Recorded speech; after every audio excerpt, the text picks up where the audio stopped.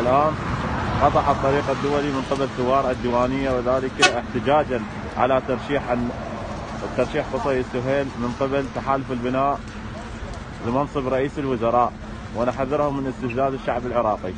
وسوف تكون لنا خطوات تصعيدية في الأيام القادمة. في حال اختيار أي شخصية مشاركة في العملية السياسية من سنة 2003 إلى سنة 2019